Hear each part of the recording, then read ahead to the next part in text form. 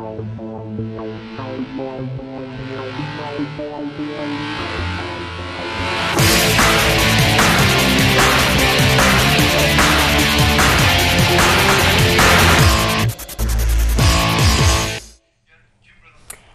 and welcome to Brookes TV. I'm Hannah. And I'm Naomi. Can't believe it is the last episode of the season. I know, and my very last episode, yes. which um, I have to say does bring a tear to the eye because yeah. I've really enjoyed being part of Brookes TV. Um, I remember my first time I ever came, I was slightly hesitant about it. If any of you are thinking about getting involved, it's so much fun. It's such a great way to see what might go on in the industry. So you should definitely get involved. I really encourage you to. Yeah, definitely. And we've had a great season. Yes, thanks for all your support. Yes, thank you to everybody who got involved. Now, I am sure you have heard all about the budget cuts that are going to affect youth centres all around the UK. Yes, I think it's a pity that we're going to lose such brilliant help from people who care so much about today's young people. Well, despite the constant protests against the cuts, the government has finally made its decision. Emma had a look at the final attempt to change the council's mind. The Oxford County Council on Tuesday 19th April agreed to cut funding for 13 of the county's 34 youth centres. The Conservative controlled County Council said it needed to restructure the service to help it make financial savings of £17 million by 2015 and plans on replacing the cut youth centres with seven hubs which will help young people who have specific difficulties but there will be no funding for youth work the county hopes that Big Society youth work volunteers will step in to fill the gaps in the future, but can volunteers take on the work of trained professional workers? Well, this county council's Conservative led, and they've decided that they're going to carry those cuts through with glee, actually. It looks to me like they're actually enjoying it. And what they're doing is they're taking four million off one service, the youth service. So all youth work is going to go. I came along today because I'm a school teacher, and the cutting of youth work across Oxfordshire is going to have a really negative impact both on schools and on the children that we teach in schools. Save All UK Youth Centres and Oxford Save Our Service put together a big society outside County Hall with young people sitting in cardboard boxes asking for donations and volunteers. They're demonstrating because they're very, very unhappy. The cuts are going to affect thousands of young people, and they're going to mean that there's no safe space where young people can go um, to hang out with their friends, learn new skills, and be supported by professional youth workers. Um, I guess like we'll have nowhere to go, and um, it'll just be we'll be we'll end up hanging about on the streets um, doing stuff. Uh, I'm Councillor Larry Sanders, Green Party Councillor for East Oxford, and I'm here to look at this l- latest stage in the destruction of the youth service. It's a very sad day for Oxfordshire, sad day for the young people, a sad day for all of us. The turnout was not as impressive as hoped, but a message was sent with the hopes of changing the county council's mind. This is Emma Kashmiri reporting for Brookes TV. Now then, we've all heard of those big West End shows such as Spamalot, Annie, and The Horrible Histories. No longer do you have to travel all the way to London to enjoy them. Just pop over to our neighbours in Aylesbury. Yes, the new Waterside Theatre in Aylesbury has just opened and is attracting many local av- avid theatre fans. Our reporter Caroline Cunningham Oakes went to take a look. The brand new Waterside Theatre in Aylesbury is expected to attract up to 300,000 visitors a year. It is now one of the region's leading live entertainment venues, showcasing the best West End and touring productions from across the UK each and every year. I was very intrigued by the theatre and all it has to offer. I caught up with Becky Martin, who told me more. We've only been open since October, beginning of October, so around six months. Um, and it was a vision of the council, Aylesbury Vale District Council, to um, create a new entertainment centre for Aylesbury and to kind of really put Aylesbury on the map. Mm-hmm. Um, so it's a massive, massive investment into the arts to build a, a venue like this of this size, um, which has never, never been in this area before. Um, so we're a 1,200-ish seated venue. Um, but we have the capability, um, it's a very flexible venue for use on various different kinds of art forms. The West End comes to Aylesbury. You can see a variety of shows, from The Horrible Histories and the Awful Egyptians to Annie and to Monty Python's Spamalot, just to name but a few. This week we've got Spamalot in with Phil Jupitus and Jodie Prenger and Todd Carty, and um, that's doing phenomenally well. We're getting a huge amount of word of mouth in the town, and we're getting a lot of walk-up trade where people are just turning up to buy tickets on the night, which is, is brilliant. The theatre is a well needed venue for this town. It's nice to know that I can watch a West End show without having to pay the odds to go to London to see one. This is Caroline Cunningham Oakes for Brookes TV. Well, that theatre looks impressive. I might have to buy myself a ticket and pop over to see a show.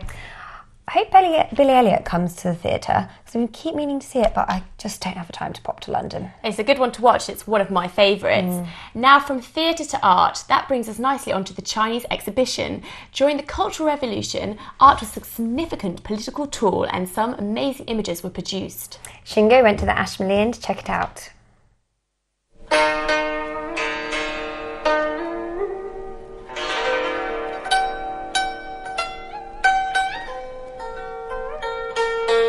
The Ashmolean Museum is a great place to visit, even if you are not a talented historian or an artist.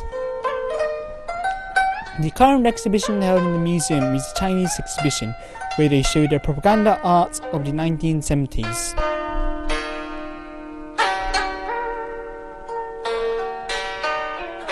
I've interviewed Tom Jowett to ask more about the exhibition. Yeah, it's an interesting exhibition. Obviously, Mao's quite a uh, interesting character that divides opinion and um, a very important 20th century figure in history. Uh, if I had to say what I like about them, probably the uh, importance of them historically. It really does show, you know, how a, um, a leader can really, you know, grab a nation and turn them into his favour propaganda-wise. The majority of the visitors seem pleased with the exhibition. It's a lovely exhibition. We were not expecting to, to find something relating to China in the um, Ashmolean from this period, so we were very pleased to, to, to find that there were these posters on display, quite spectacular ones too. I enjoyed this very much. It's it's a nice uh, compact size of exhibition, so it's it's easy to get around it and go back to the first things again and review them. It's really from they get them from there, the the exact posters from that time, and they sort of show exactly what was what they wanted to people to think and feel with the posters. The exhibition is going to be held until the 3rd of July. Do not miss this opportunity to pay it a visit. This is Shingo Nakajima for Brookes TV. Well, that looks fascinating. I'm going to have to go and check it out. Now, Hannah, you live in Cowley, right? What's it like living down there? Yeah, I really like living in Cowley actually. There's loads of restaurants and bars, Mhm. and you're always bumping into somebody from uni. That so nice. Yeah, it's really great. However, if you go up the hill towards Temple Cowley, it gets a little bit goes a little bit downhill. It's a little bit grim. And they're trying to do something about that, I believe. Um, did you catch the I Cowley event the other day? No, I didn't. Well, Mike went and here's what he got up to. The grey and weathered face of Hockmore Tower Flats in Cowley was transformed into a work of art last weekend in celebration of the local community as part of the I Cowley project. Dominating the Cowley skyline, Hockmore Tower Flats was the perfect location for the massive outdoor projection event. I spoke to organisers at the ARC-T Centre about the motivation behind the project. iCowley was a project that we started to develop several years ago now. We were quite interested in using projection to change the way people looked at their environment. By having a lot of photos of individuals, you get an idea of a community as a whole. And there's a big history of uh, people being photographed and painted with their personal objects. As, uh, so to bring that kind of history to the uh, people of Cowley seemed like a really nice thing to do. It's people's stories that matter and the building of relationships between people and enabling people to talk about who they are and what motivates them and why they're here and all of those sort of things. It just brings it brings a richness to a community if you can enable people to do that. Labour MP Andrew Smith attended the event, and I took the opportunity to ask him if he thought that art and creativity were still important career paths for students. Frankly, everybody's got to do the best they can to make the most of their potential, and if that's in arts and in projecting things, great, but you know, if it's in manufacturing motor cars or developing new chemicals or repairing bicycles, whatever it is, you know, everyone's got to find their own way. What I do think is wonderful is to see where students have been to Brookes or Oxford University and are able to put something back into the local community.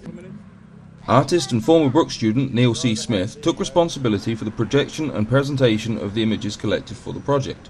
I asked him if he felt his experience at Brookes prepared him for his work as a professional artist. About halfway through my MA at Brookes, um, I really started getting into looking at ways of doing self generating work. The MA got me to focus a lot on what I wanted to do, and you know, it's something that there's a thread of work that then I've been working with and developing for 10 years. But um, whether it actually prepared me for the real world or not is a different matter. By 8 o'clock on Friday night, a good sized crowd of onlookers had gathered. I found out what some of them thought of the event. I do, I do quite like it. It's a good idea, you know. It's quite affirmative, I think, for people to, to see their um, people they know or their relatives up on, on, you know, projected up really big like that. It's very good. It's very nice. The event ran over two nights, and it seemed to have a positive impact on both the artists and community members involved with the project. For more information about the iCowley project, visit www.icowley.info. I'm Mike Weston for Brookes TV. Well, that has certainly brightened up the place. I'm afraid that's it for this half, but as we've already mentioned, this is our last episode, so we want to take this opportunity to invite any of you budding presenters, or if you prefer behind the scenes, to sign up for the Society next year. Email brookestv at brookes.ac.uk. There are many positions still to be filled, including president. And don't forget, you can catch up on any of the episodes you've missed from this year on btv.brookes.ac.uk. And a huge thank you to anyone who has been involved. Make sure you come along to the wrap party. Thanks for watching and see you after the break. Goodbye. Bye.